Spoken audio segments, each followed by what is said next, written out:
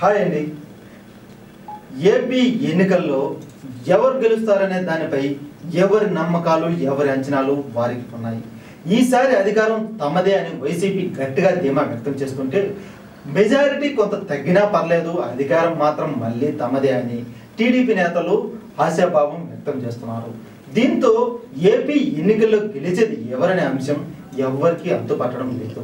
అయితే ఎన్నికలకు ముందు ఎన్నికల తర్వాత తన సర్వేలతో ఓటరు నాడిని పసిగట్టడంలో దిట్టగా పేరున్నటువంటి ఆంధ్ర అక్టోబస్ విజయవాడ మాజీ ఎంపీ లగడపాటి రాజగోపాల్ సర్వేలో విజేత ఎవరనే విషయం తెలుసుకోవడానికి చాలా మంది ప్రయత్నాలు చేస్తున్నారు.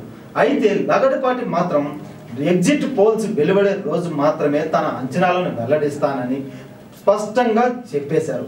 అయితే మధ్యలో ప్రజలు అభివృద్ధికే పట్టం కట్టారు అని ఆయన చేసిన వ్యాఖ్యలతో మరోసారి టీడీపీ టీడీపీదే అధికారం అంటూ ఆ పార్టీ నేతలు ఖుషి అయిపోతున్నారు. అయితే తన సర్వే విషయంలో ఈ ఈసారి లగడపాటి రాజగోపాల్ ఎంతో జాగ్రత్తలు తీసుకుంటున్నట్లు తెలుస్తుంది. ఎన్నికలకు ఫలితాలకు మధ్యన నలభై రోజుల పైగా గ్యాప్ ఉండడంతో ఈ సమయంలో నాలుగు ఐదు సార్లు ఈ సర్వేలు రూపొందించాలని లగడపాటి రాజగోపాల్ గట్టిగా నిర్ణయించుకున్నారని వార్తలు వినిపిస్తున్నాయి. ఈసారి తన అంచనాలు వాస్తవ ఫలితాలకు చాలా దగ్గరగా ఉండాలని ఆయన భావిస్తున్నట్లుగా విశ్వసనీయ సమాచారం. తెలంగాణ అసెంబ్లీ ఎన్నికల్లో ఫలితాలను అంచనా వేయడంలో దారుణంగా విఫలం కావడంతో తెల్ లగడపాటి రాజగోపాల్ సర్వేలపై అటు రాజకీయ వర్గాల్లోనూ ఇటు ప్రజల్లోనూ కొంత ఆసక్తి తగ్గిన మాట వాస్తవం. దీంతో మరోసారి అలాంటి పొరపాటు జరగకూడదని భావిస్తున్న ఆంధ్ర ఆక్టోపస్ ఈసారి ఫలితాలను అంచనా వేయడానికి ముందు ఎంతగానో జాగ్రత్తలు తీసుకుంటున్నారని పలు పలువురు చర్చించుకుంటున్నారు.